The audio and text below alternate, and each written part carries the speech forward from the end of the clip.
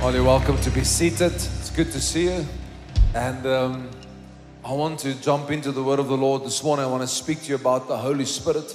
And there's much that I, I can share. I, but I felt as I was standing here on, on the stage, the Lord just took me to one or two very simple scriptures. And I, I want you just to, to listen. And then I'm going to explain 1 Thessalonians chapter number 6 and verse number 15. There's a word there that I want us just to catch. The Bible says, which God will bring about in His own time. God, the blessed and only ruler, the King of kings and the Lord of lords. The King of kings and the Lord of lords. I want us to know that God is a ruler. I'll say it again God is a ruler. And when God made the earth, this ball that you and I find ourselves on, He made it because He wanted to extend His dominion or His rulership onto a planet. In other words, God was already ruling, He was already reigning the universe, and He is still presently doing so. Currently, as far as I know, there's about 500 uh, galaxies or 500, yeah, 500 galaxies, I think if I remember now correctly um, that He has made or that we know about, and we're still finding out more and more as we go. The point is, this massive, omnipresent, omnipotent, omniscient God made the earth. And then God put man onto this earth, and He placed man here because He wanted through man to take dominion onto the planet. That's why he says in the book of Genesis, chapter number one, he says, Let us make man in our image and in our likeness, and let them have dominion. I want you to see it very clearly. The Lord says, Let us, speaking about the Trinity, make man and let them have dominion. You have been made to have dominion. You have been made to rule and reign with God. Are you there? You have not been made to be dominated. You have made, not been made to be ruled over. You have been made to be the ruler. You have been made to have the dominion. And the Bible says that in John chapter number 14 and verse number 16, Jesus says, I am the way, I am the truth, and I am the life. And then he says this, he says, and no one can come to the Father except through me. In other words, if you can imagine it just for a moment, well, let me quote the other scriptures well. John chapter number 6, verse number 44, where Jesus says, And nobody can come to the Father unless he is drawn to him. Unless he's drawn. Let me just read the scripture and then I'll explain. Um, and I'll do it visually that you can understand. No one can come to me unless the Father who sent me draws him. So, what do we find? We find that the Father has sent the Son. The Son has given us the Spirit of the Lord. Actually, the Spirit of the Lord comes because of the Son. So, it's the Father that sends the Son, and it's the Son through which we have received Him, by which we have been given the Holy Spirit. Right? Everybody with me? So the Holy Spirit takes us towards the Son, and the Son takes us towards the Father. Are you okay? Listen to me carefully. Nobody can come to the Father unless the Son takes him to the Father.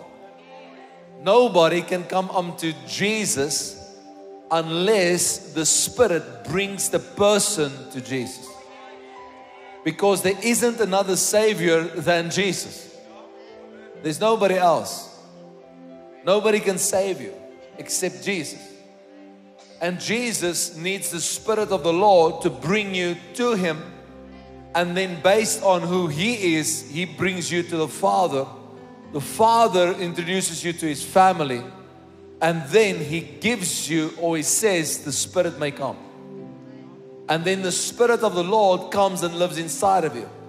That's why in John chapter number 14 and verse number 26 and verse number 16 And in John 16 13, it speaks about the guide, guiding of the Holy Spirit. You'll find that Jesus says, And I will pray the Father that he will give you another comforter, that he may abide with you forever. In other words, Jesus is saying, I'm going to ask the Father to give you this, the Spirit based on me. Please note that the Spirit of the Lord descends from the Father and visits or stays permanently in the people of Jesus or the Jesus people. Do you understand? Now let's go all the way back to creation. If you understand creation, you'll understand this. In the beginning, God created the heavens and the earth, and God says, Let us make man in our image and in our likeness. Therefore, God makes man in his image and in his likeness, and out of that comes Adam. Adam gets formed and gets made by the earth or by the ground. And God breathes into Adam the breath of life. Are you there? So God's original plan was that through this first man, Adam, the one that is made out of the ground, that through this Adam, he will have dominion over the earth. And Adam and Eve will multiply, they will cultivate, they will um, dominate, and they will basically let, let the rest of the earth look like Eden. A place where God can dwell with his people. Are you okay? Because Eden is not a physical location, Eden was a place of His presence. Everybody still with me?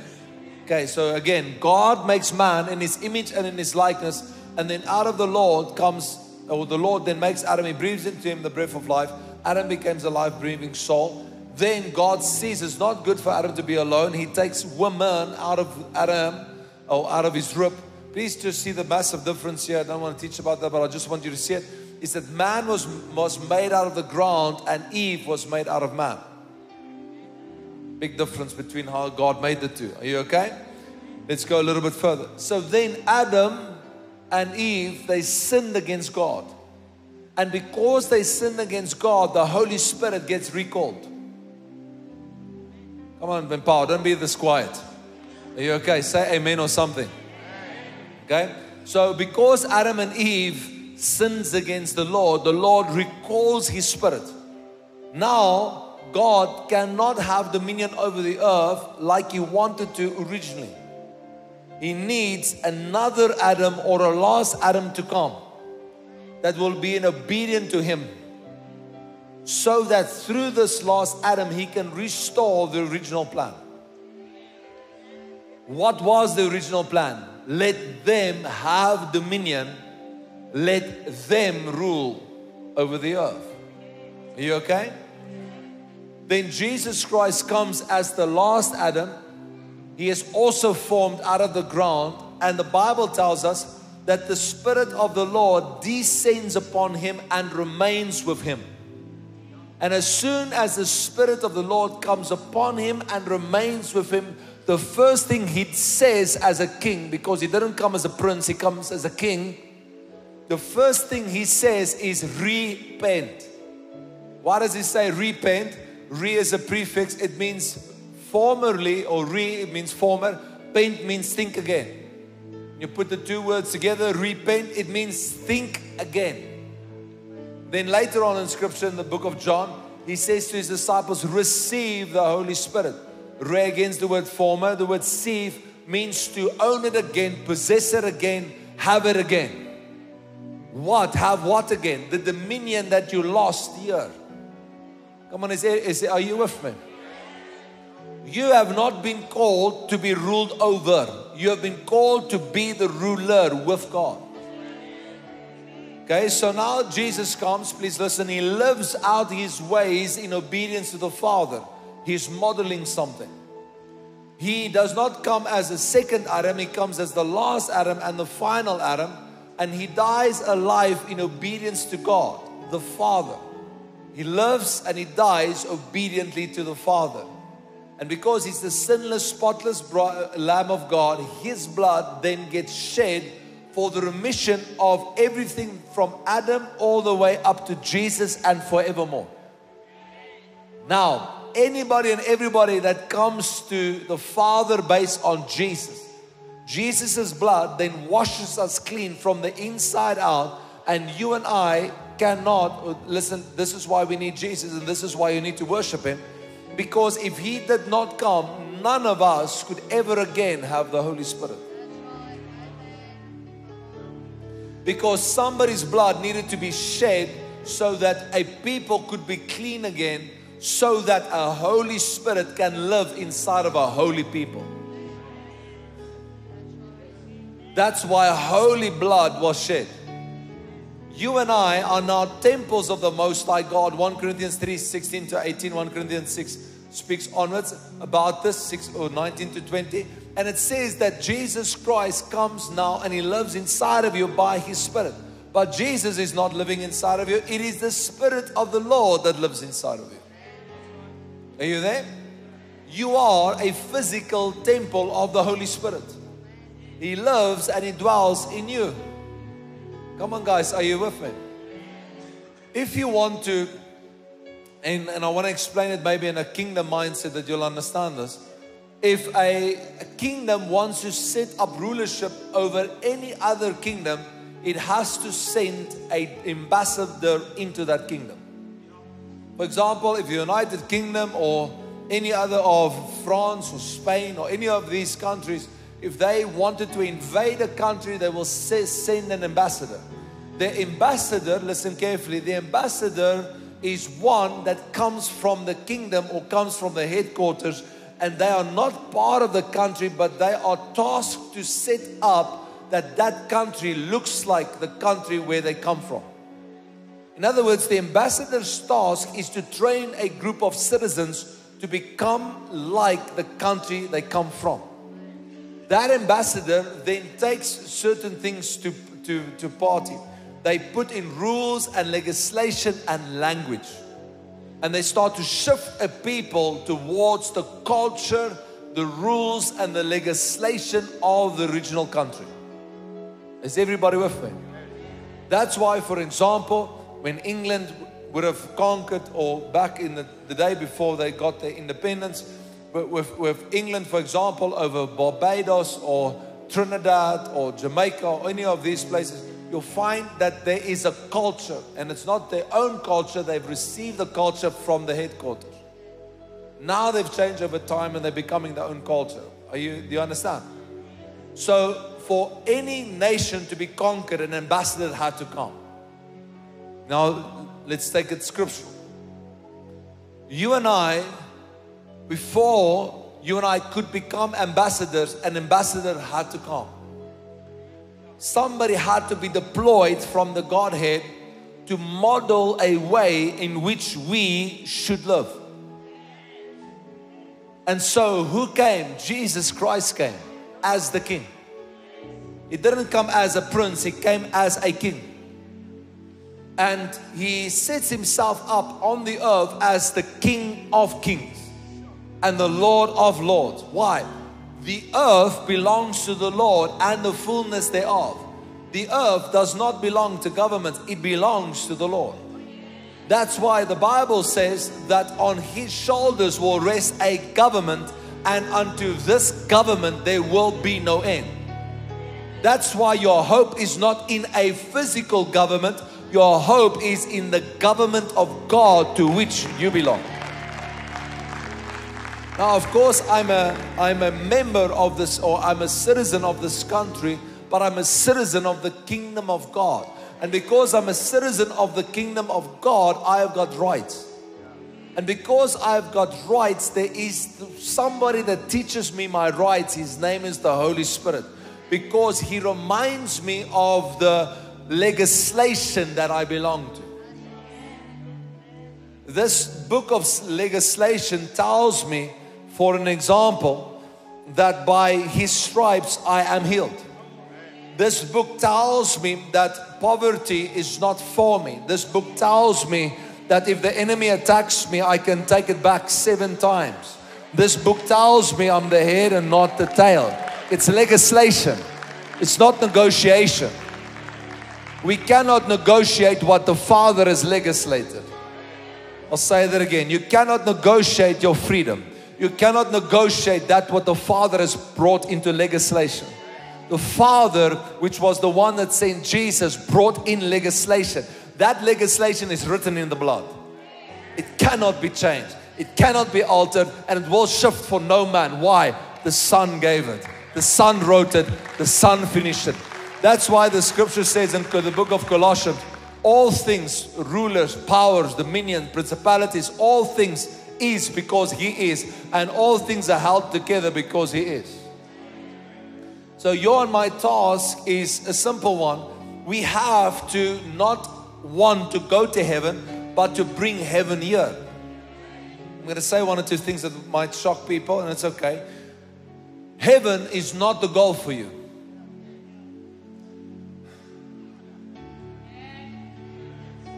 I'll stand still. What do you think?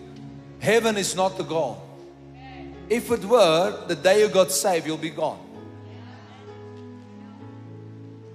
What is the goal is to restore the kingdom to you. Heaven is a byproduct of the kingdom being restored. It's not the goal.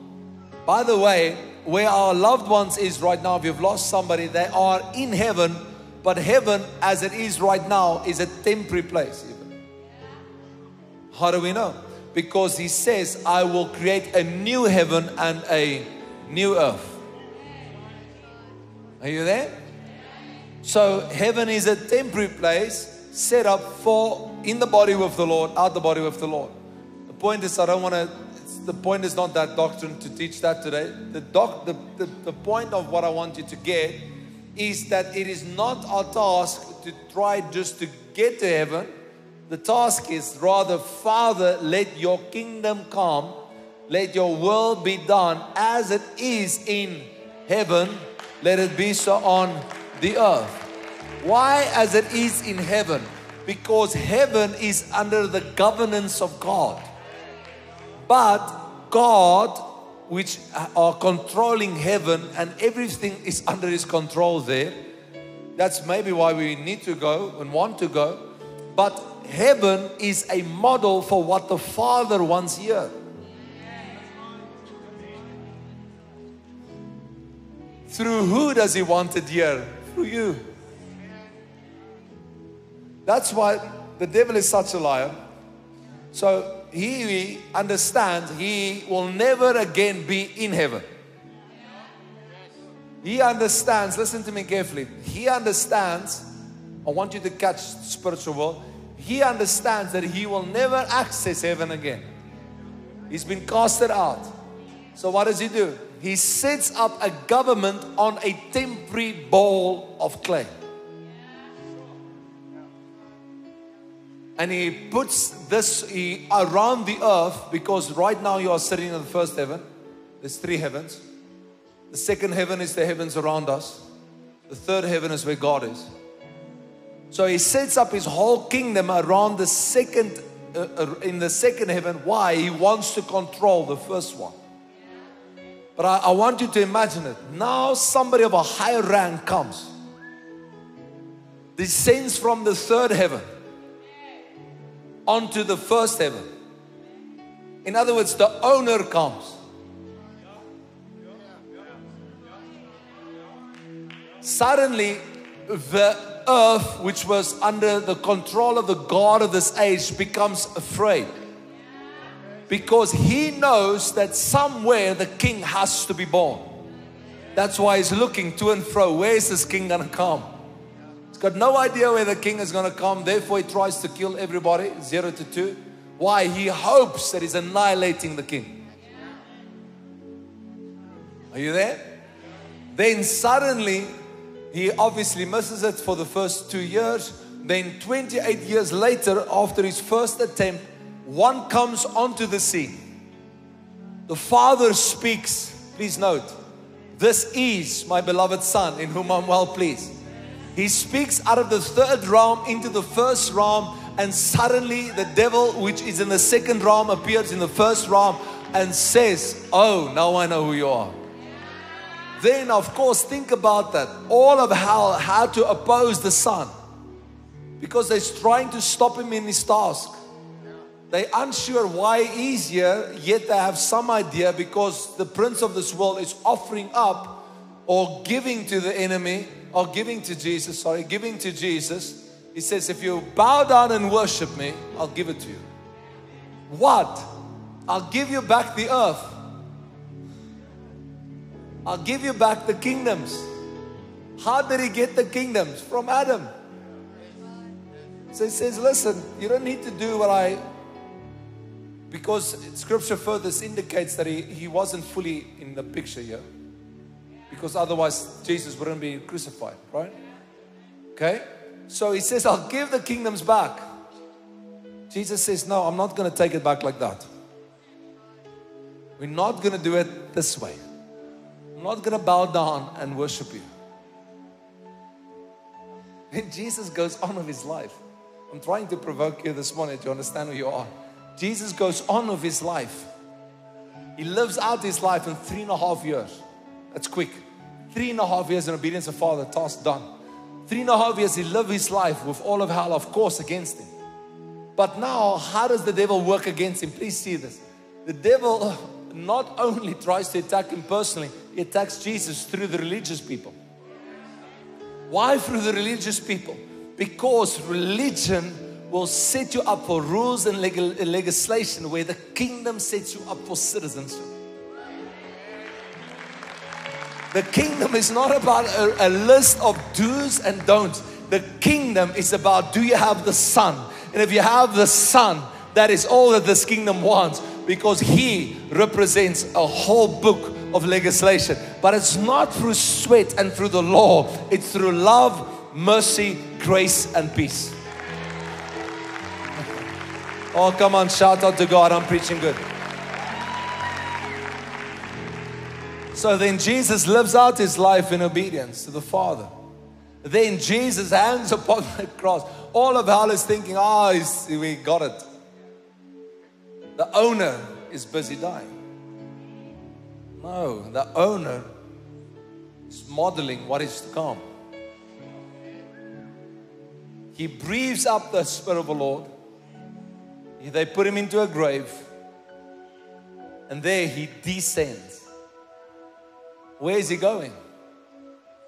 He's going to the one that has the keys. He takes the keys of hell, Hades, and the grave. He takes it. Why? He's the owner. And the only way that he could legally take it back is to die a sinless death. Now he takes the keys he walks over in paradise, he locks open, sets the captives free. He says, Come. He descends to the Father. He places all those that believed in him in front of the Father. He descends to his disciples. Are you guys still with me? He tells his disciples, Go wait in Jerusalem until you are endued with power from on high. Wait. Then the Bible says Jesus goes, and I'm fast forwarding a lot now. He sits down at the right hand of power where he still is. Now, 120 clay pots or men are gathered in an upper room. What was the Lord's first model? Let's go back. In the beginning, God created the heavens and the earth. Let us make man in our image and in our likeness. He places his spirit in Adam. Adam loses the spirit, or the spirit gets recalled because Adam sins. A last Adam comes, he models a way of perfection. Now, by his price and by his blood, whosoever believes in him can be washed from the inside out and can receive the one that the original Adam had. That's why he says receive. That's why he says repent. Oh, are you guys okay? Then 120 men in an upper room, they were waiting. Why? Jesus said so. Then suddenly the Bible says tongues of fire appeared on each and every one of them. What happens? the Spirit of the Lord descends on whose command? The Father's. Based on who? Jesus. And 120 men gets filled with the Holy Spirit. Now the enemy has got a problem because he had to contend with one man filled with the Spirit. May I recall you all and remind you all one man had so much authority that the Roman Senate thought he was about to take over. One guy. His name is Jesus, our Lord. Jesus had so much authority that the Roman Senate spied him out. They wondered, is he going to take over? Come on, guys, are you with me? Yes, it's a thousand plus people here this morning, full of the Holy Spirit. We've got no reason not to be a force on the planet. The only reason why we are not a force on the planet is because somebody is lying to you and somebody is believing that lie. And therefore, we are living less than our potential. I'm here to remind you today that if the Spirit of the Lord lives inside of you, if the Spirit of God is inside of you, then listen, you, I am anointed to heal the sick, to cast out devils, to raise the dead. The Bible says, Jesus Christ quotes it himself. He says, The Spirit of the Lord is upon me, for the Lord has anointed me to do what? To set the captives free. You are not a captive, you are a son. You are not a slave, you are a son. You're a son and daughter, church. Come on, hear me this morning. You are not slaves, you are sons. Prince Charles, a while back before the Queen died, he could not become king unless the Queen went. Right? It's true. Because if she's alive, he's of lesser power. He can be old, doesn't mean he's got power. Because his mom is still alive. That's right. Die man kan oud wees, maar sy ma is nog daar. It's easy. Prince Charles could not become king because the queen was still present. Come on, guys. So a mom dies, a prince becomes a king. In our kingdom, doesn't work like that. Because our king never dies. So, what does he do? He says, I'm the king of kings. Who is he referring to? He's referring to kings.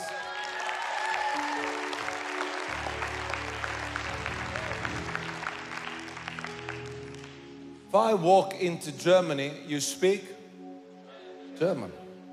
You walk into Chinese, China, you speak Chinese. Speak, go into France, you speak French. Go into Italy, you speak Italian. Right?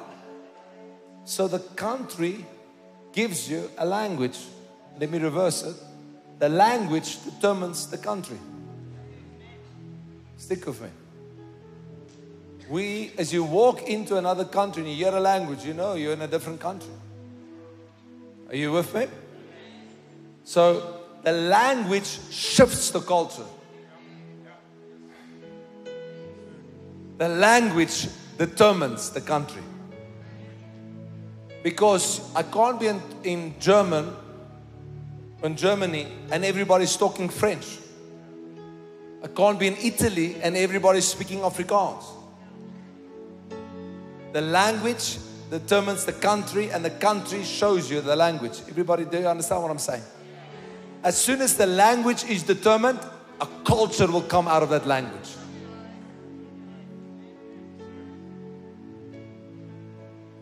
In South Africa, we've got 11 languages. Each language has got a specific way of doing stuff. Right? And how do you know somebody belongs to your culture? They have to speak the same language. If they don't talk like you, they are not from your culture. The Christian has been given a language. How do I know? He places a spirit inside of all of you. The Holy Spirit. And He gave you the ability to speak in tongues. So you have a native language to you that makes all of you and me as well. It makes us part of the culture of the kingdom of God. So, whenever you hear, listen to me carefully, this language spoken of the Spirit, you know that there's a country there. Now, what the enemy has gotten right, please listen to me. He made country citizens speak like the country that they don't belong to. So, when Christians gossip, slander, backbite, be negative, they're speaking like a foreign country.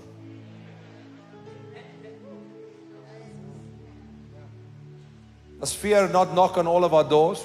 Of course it does. But send Jesus to answer. Do we not all feel betrayed and offended at times? Of course you do. You're human. You're a human being. But you cannot lower to that standard of living.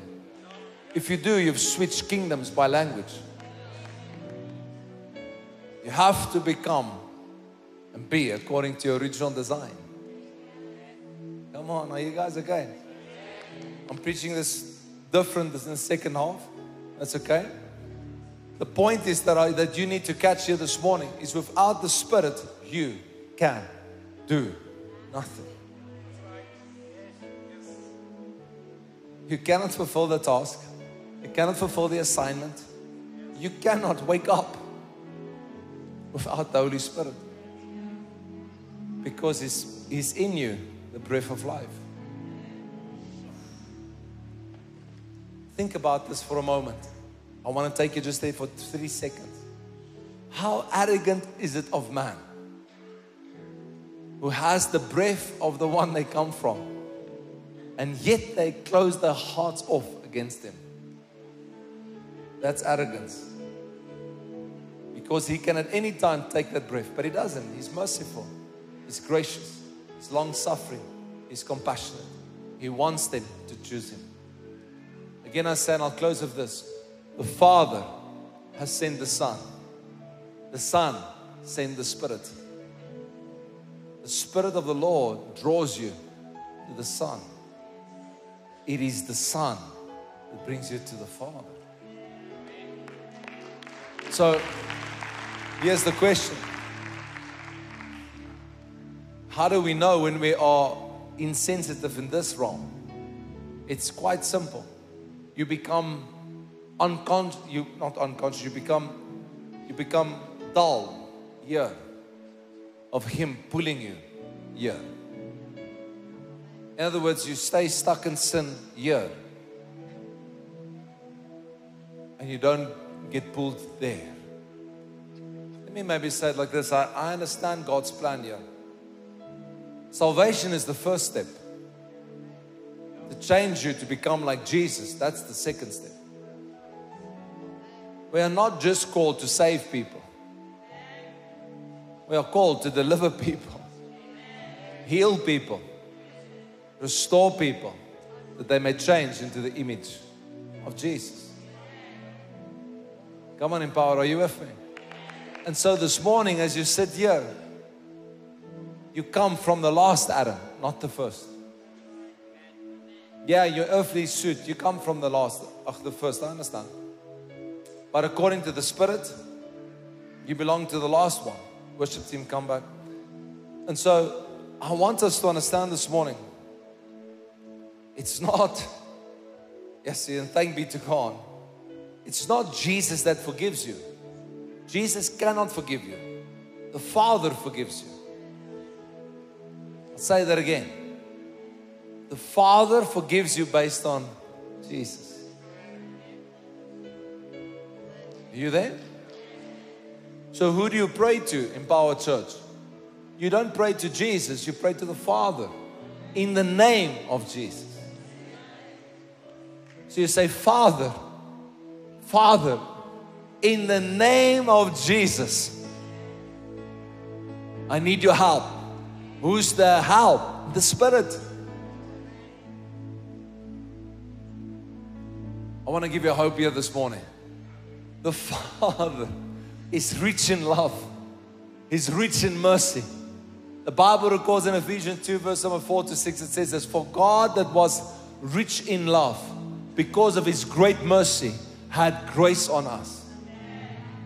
So you don't need to petition him long, even though you need to pray at all times, at all occasions, the Bible says. The only thing you need to do is you need to access him through him. Because this is how it works. Father, I need your help in the name of Jesus. The only thing the Father is looking for are you praying through the right way? Or are you coming to Him through Him? Because of you cannot sidestep Jesus, you have to go through Him. Then the Father, the Jesus says, Father, this one is part of us. Then the Father sends the answer through the Son by the Holy Spirit, and you receive the solution.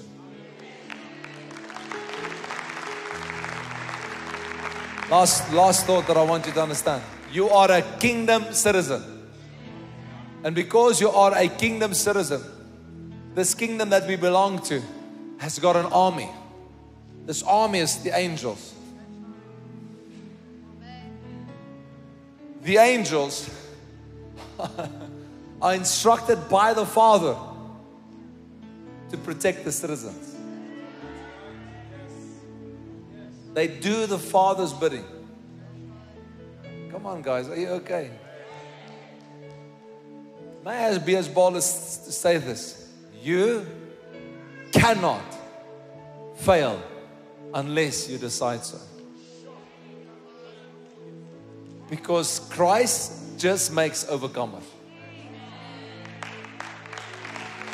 It's true. Oh, come on, church. Are you guys okay? So, where's our eyes? Why do we worship? Why do we worship Him? Because if He didn't do it, none of us will receive eternal life. So, don't come to church late just when I preach because I might switch it around. And I'll preach first. And then you come here and you have to worship for 50 minutes.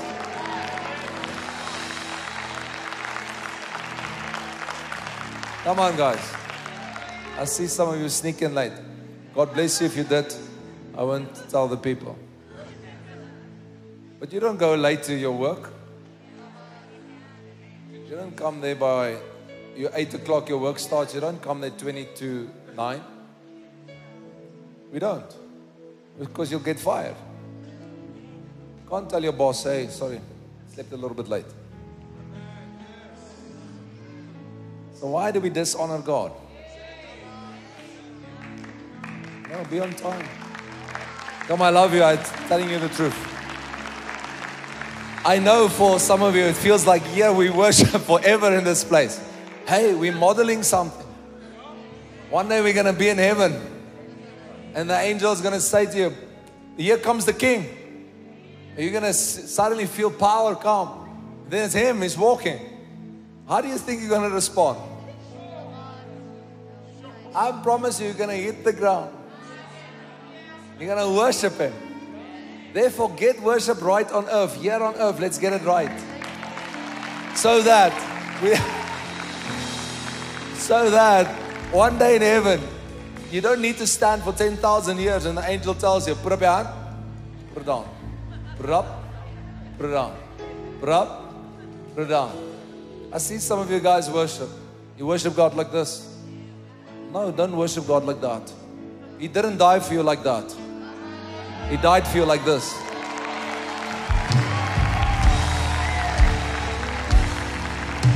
Don't worship the Lord like this. You're not a speed cop. Worship God like that.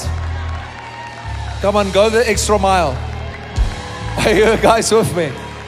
Come on, is there somebody with me this morning? Don't just sit. No, dance before the Lord.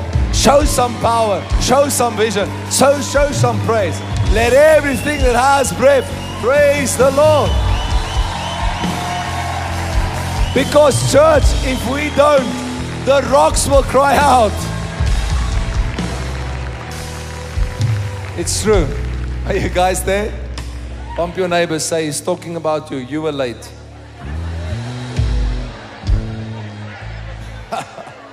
I'm teasing.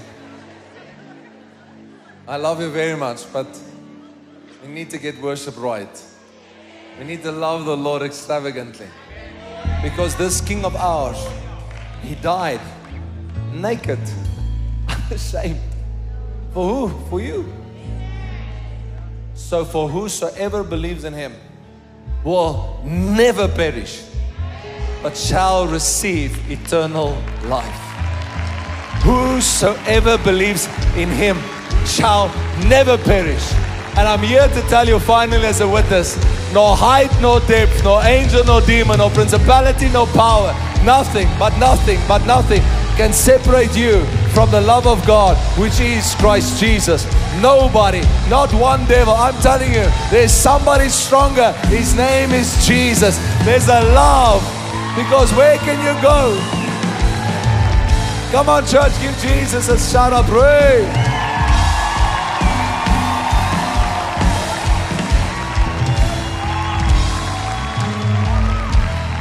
Where can you go? Where can you go in your spirit and his spirit can't find you? David says, I'll go down to the pit of Sheol. His spirit still comes there. Are you there? So be who you are. You are a citizen. And I'll end of this. Pastor Stefan, before I take the new members, listen to me. Jesus walks in. Is a lady, she's bound for 18 years. He looks the lady, he does it in the synagogue. Can I tell you, if Jesus was on the planet physically, he'll be flipping tables in places. Jesus comes in. He looks at a woman, 18 years bound. Religious people could not free her. They are quoting the right scriptures, but they are not freeing her. Why? They are quoting something, they're not living. Jesus comes. It's Caesar. This is how I imagine it. He asked the question Is this daughter not a daughter of Abraham? In other words, please note, he's not asking how much she prayed, even though you must pray. He's asking, Does this daughter not have rights? And he sees, ah, but she's got rights. What is the rights that she has? She is a daughter of Abraham. And God promised Abraham through the covenant of faith that sickness is not part of the deal. So Jesus, which is God, oh, come on. He goes all the way there. He says, Is this not a daughter? Is this girl not a daughter of this man that we have a covenant with? And he reminds himself and he straightens her out and he chases the devil out. Why? The devil wasn't there when the covenant was made. Oh, come on, there's a covenant that Jesus cut with you. Let me go one, de- one deeper. Can I go one deeper quickly? I'll just show you something here. Yes, I love the Bible. Do you love the Bible? I want to show you something. Father, we thank you for your word. I'll do it quick. Thank you, Jesus. Listen to this. Let me find it quickly. The word Gad is one of the sons of Jacob came through Leah. Word Gad means favor favor of God. Jesus goes to the Gadarenes to do what? To find one man. To restore what? The favor of God. Look at this Jesus that we serve. He remembers not what was said before. And he goes, looks for those that he's made covenant with. As you sit here this morning, take this now to the bank. You had a mom or a great grandmom or a father or a great grandfather that prayed. I'm telling you, even if they're in the grave, God is still answering their prayers. it's true. Oh, come on. Say thank you, Jesus, that somebody prayed for me. Because most of us are a result of somebody that prayed. But, but the point is that I want to make, and I'll leave you with this this morning. The point is that I would make is you are a result of a God that's faithful, not a people that are faithful, a God that is faithful. Never will I leave you, never will I forsake you, never, never, never, never, ever, ever. It will never happen. Come on, give Jesus some praise. Come on, empower.